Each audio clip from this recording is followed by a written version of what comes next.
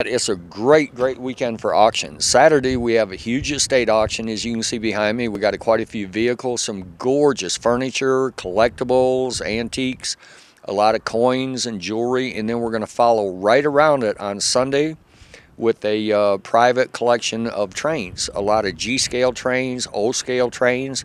Now, the sale on Sunday will be a live webcast. It'll be available on the net, internet and uh, if you go to www.auctionnv, you'll be able to see a lot of pictures. But this should be a huge weekend, and I'd find it hard to believe that there isn't something in here for everybody's taste. There is, there's a wide array of different things, including these vehicles right behind us here. You bet. A lot of these vehicles, these are from the uh, Nye County Public Administrator, the one straight behind me. And then additionally, we have the ATVs, we have the go-karts, the motorcycle, uh, we've got a red Dodge pickup truck that they're bringing up here in a second, and a couple travel trailers. Wonderful. So, how can a person get involved in this? What time does the auction start tomorrow? The auction starts at 12 noon tomorrow and 12 noon on Sunday. Preview is all day today, and then you can also preview tomorrow from 9 in the morning right up until auction time.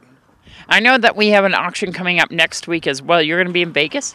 Yeah, that one's going to be great. It's the estate of uh, Donald uh, let me tell you, Donald Romero.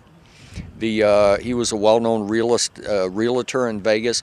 Treacherously expensive. Uh, just to stumble through some of it, there's Baccarat, there's Versace, there's Lalique, there's a four and a half carat solitaire diamond. Uh, that catalog also you can access off of our website.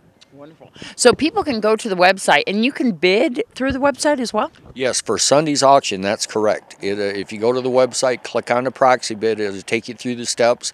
And if you'd like to stay home and not have to experience this unusual cold weather, yeah. you can bid from the comforts of your living room.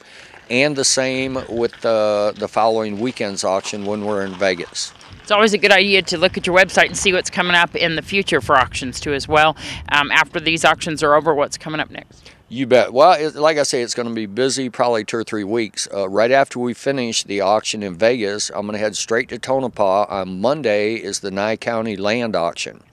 We'll do the Tonopah properties up in uh, Tonopah, and then Wednesday we'll be at the Commissioner's Chambers here in Pahrump. And uh, Angie, the lady that works with the uh, Treasurer's Office, she's did an incredible job of putting together this whole package. We're just going to go there and help her with the fast talking and uh, I believe on Wednesday sale for the county is over 180 pieces of property. And they're going for just the back taxes.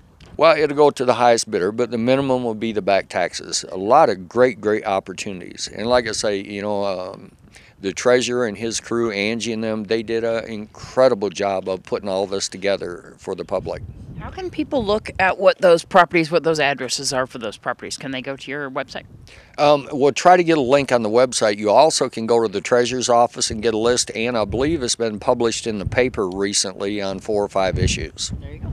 And where are we located for the auction this weekend? Uh, 800 Margaret Street. Uh, go down to 372, look for the yellow sign, and take a right, and we're right here. Thank you so much, Ski. You bet. Thank you, and it's always a pleasure. And uh, once again, I appreciate the great support that you personally and Channel 46 is providing to us and the other businesses of the community. I really, really appreciate it.